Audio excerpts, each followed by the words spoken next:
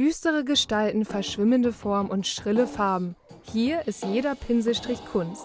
Bis zu acht Stunden am Tag malt Sven Lisi in seinem Atelier in Langenhagen.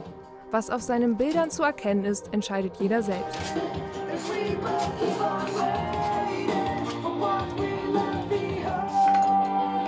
Doch hinter der abstrakten Kunst steckt eine viel größere Geschichte. Der 36-Jährige leidet an den psychischen Erkrankungen Borderline, Depression und ADS. Kunst ist für ihn eine Art Therapie. Jetzt habe ich eine Diagnose bekommen, Borderline. Ähm, tut mich jetzt auch nicht wirklich irgendwie überraschen, wenn man so aufs Leben zurückguckt. Ähm, dann kam aber über Weihnachten eine Depression dazu. Seit seiner Jugend hat er Probleme damit, seine Gefühle zu regulieren. Mit knapp 13 Jahren ist er von zu Hause abgehauen, wurde Punk und lebte auf der Straße. Auch Drogen waren mit im Spiel.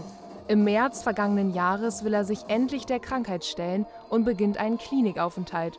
Und der verändert sein Leben. Es war dann aber so, dass ich im, in der dritten, vierten Woche habe ich so Soft- und Ölpastellkreide für mich entdeckt und habe gemerkt, hey, das ist wie so ein meditativer Zustand. Sven Lisi merkt, mit der Kunst kann er endlich seine Gefühle ausdrücken. Und das, obwohl er teilweise farbenblind ist.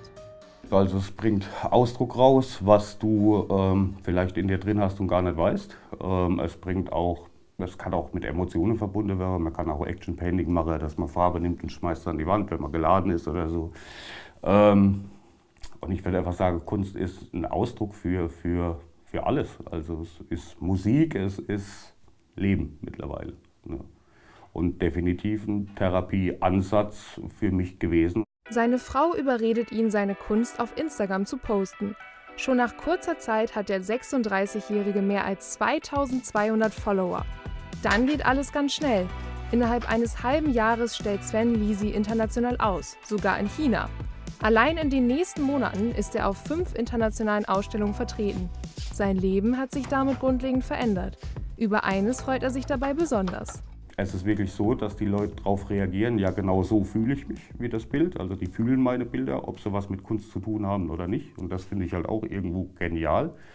Ähm, und es erinnert sie halt daran, dass, ähm, wie soll ich sagen, dass wir früher gern getanzt haben oder gern geschrieben ne, oder gern gelesen. Also alles so Sachen, die man für selbstverständlich hält, tut man mit Depressionen oder schwerer Erkrankungen nicht mehr so. An seine ersten Malversuche in der Klinik denkt der 36-Jährige gerne zurück.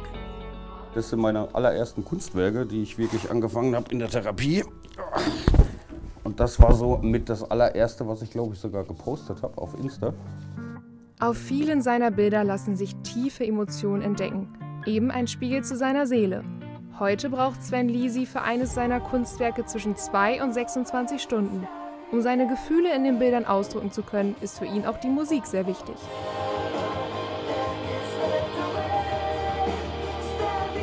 Jeder Mensch kann was erschaffen, wenn er an sich glaubt. So. Und ich rede nicht von, von Arbeit, dass du deine Arbeit machst, sondern ich rede von Gedichte, von Gesang, von, von Tanz, von allem. Kunst ist seine Leidenschaft geworden. Auch wenn er von der Kunst allein noch nicht leben kann, hat sie ihm den Weg aus seiner Krankheit gezeigt.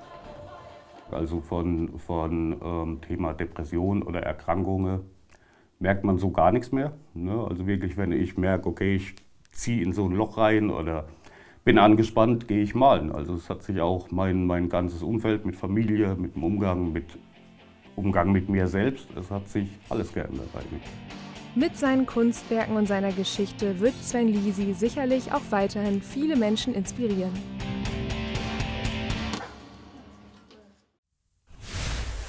Noch mehr Videos aus Niedersachsen und Bremen findet ihr hier auf unserem RTL Nord YouTube-Kanal. Am besten direkt abonnieren.